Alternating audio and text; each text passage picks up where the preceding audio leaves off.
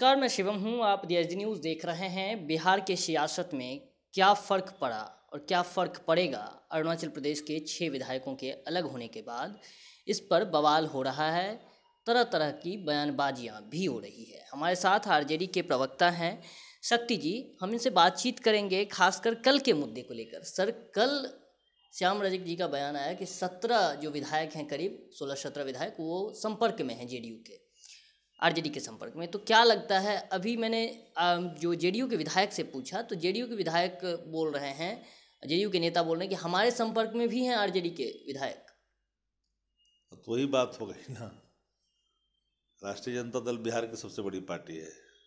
टूटेगा तैतालीस वाला कि टूटेगा पचहत्तर अस्सी वाला। तो समझनी चाहिए। टूटता है वो जिनकी पार्टी समाप्त हो रही है। पार्टी समाप्त हो रही है जदयू की। नीतीश जी क्या भाव मर गई। भारतीय जनता पार्टी इनके सही विधायकों को तोड़ना शुरू कर दिया है। जदयू मुक्त बिहार बनाने की दिशा में भाजपा आगे बढ़ी है। तो क्या भाजपा चिराग पासवान के कदमों पर चल रही है? क्योंकि चिराग पासवान चुनाव के दौरान बोल रहे थे कि नीतीश मुक्त बिहार। तो क्या भाजपा भी यही चाह रही है? बिल्कुल भाजपा का हिडन एजेंडा है नीतीश मुक्त बिहार जदयू मुक्त बिहार। जदयू मुक्त बिहार के जो नारे हैं उस दिशा में बढ़ता हुआ कदम भारतीय जनता पार्टी देख उनके विधायक मैंने बेचैनी है लोग संपर्क साध रहे हैं। कई तरह के लोग हैं वहाँ भी जो लोग भारतीय जनता पार्टी जिनके आइडियल हैं कुछ लोगों का तो उधर जाना पसंद करते हैं कुछ लोग इधर संपर्क में हैं तो स्वाभाविक तौर पर जब जदयू का क्षरण होगा जदयू का निरसन होगा। मतलब जदयू का विघटन होगा पूरी तरह से। जदयू का निरसन होगा। निरसन होगा। हाँ तब तो स्वाभाविक तौर पर लोग निकल के आएँगे ही ना। ये पक्का आप बोल रहे हैं? पक्का तो बोल रहे हैं हम तो बोलते हैं कच्चा नहीं। तो तो इससे पहले जो बातें हो रही थी कि 2021 में चुनाव हो सकता है तो इसका मतलब 2021 में चुनाव के लिए आप लोग सभी तैयार हैं?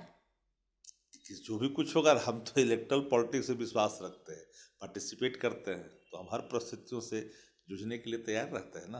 हम ट्वेंटी फोर इंटू सेवन है। जैसे channel twenty four into seven है पोलिटिकल पार्टियाँ भी ट्वेंटी फोर इंटू सेवन होती है। हम हर परिस्थितियों से निपटना जानते हैं, निपटने की दिशा में काम करते रहते हैं, हमारा कार्यक्रम लगातार चलता रहता है। क्योंकि इस ऑर्गेनाइजेशन ही हमारा मुख्य आधार है, जहाँ से हम लोग पार्टी के सिद्धांतों को, नीतियों को, जन आकांक्षाओं पर खरा उतरने की हम लोग काम करते ही नहीं हैं, बल्कि उनके दुख और सुख में शामिल होते भी रहते हैं, उनके मुद्दों को उठाते रहते हैं। आपको आ, हम लोगों ने सुना है कि आपको विधायकों का कॉल आया है। क्या है राज थोड़ा सा खोलिए। विधायकों का कॉल तो आते रहता है ना। जो लोग बीजेपी पार्टी से आया है या जेडीयू पार्टी से? देखिए विधायक अपने दुख बया करते हैं आने वाले दिन के लिए। जो उनके दल पर जो आसन्न खतरे हैं उसको लेकर के। हर कोई अपना सियाना ढूंढना चाहता है। उन बेचारों का नाम क्यों खुलवाना चाहते हैं? वो सब है बेचारे। मतलब ये बता दीजिए कि जेडीयू या बीजेपी कि, किस दल के विधायक ज़्यादा आपसे संपर्क कर रहे हैं? हम तो कह रहे हैं ना। जो हालात हालात तो बन रही है ना। जदयू बताया कि जदयू का निरसन होना है। जदयू का तो होना है। हम बीजेपी को लेकर पूछ रहे हैं। भारतीय जनता पार्टी का कोई हुआ तो, तो गैंग है ना जी। अच्छा। भाजपा कोई पार्टी अब रहने गई। वो अडवाणी जी और अटल जी वाली पार्टी एक गैंग है जिसके मुखिया नरेंद्र मोदी जी है। उस गैंग के सदस्य इस देश के नामी ग्रामी कुछ प्रतिष्ठित जो कारपोरेट घराना है वो हैं उसके अनुसार देश में कहना किसान महफूज है न मजदूर महफूज है न विकास महफूज है देश में न विकास दर महफूज है न हमारे अब देख रहे हैं कई संस्थान निजीकरण हो रही है न युवा महफूज है न उनके रोज़गार के अवसर मिल रहे हैं महँगाई बदस्तूर जारी है सारे सवाल हैं। सुशील कुमार मोदी के बयान को कैसे देखते हैं कि अरुण जेटली रहते तो किसान आंदोलन को संभाल कुमार मोदी जी समझदार आदमी है। वो जानते हैं केंद्र में जो भारतीय जनता पार्टी का जो नेतृत्व है बिल्कुल अक्षम है। इसलिए उनको आ गए, अरुण जेटली जी याद आ गए उनकी जयंती थी तो याद आ गई, स्वाभाविक तौर पर पुण्यतिथियों में याद आते हैं। बड़ा उनको सुरक्षित रखा था जेटली जी ने।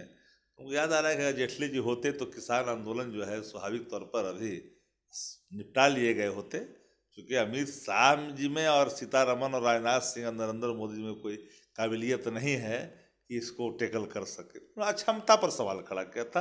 हालाँकि उन्होंने जब कभी कभी सुशील मोदी जी बात तो बोल जाते हैं तो उन्होंने उसी रूप में कहा। एक खबर आ रही है आज की कि जो नल जल योजना है उसको लेकर नीतीश कुमार काफ़ी दावा कर चुके हैं।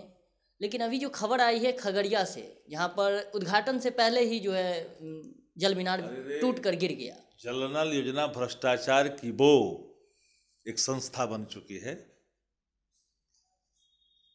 एक ऐसा जहाँ पर बिहार की धन राशि को लूटा गया है। मैं आपको बता रहा हूँ, कई उदाहरण हमारे पास है। उन उदाहरणों को अगर उद्धृत करूँ तार तार हो जाएँगे।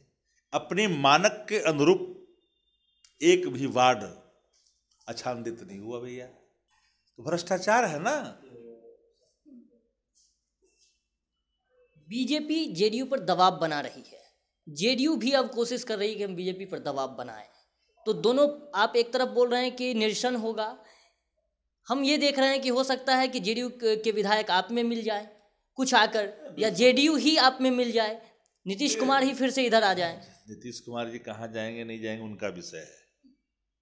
रहेंगे कहाँ नहीं रहेंगे उनकी स्वतंत्रता है।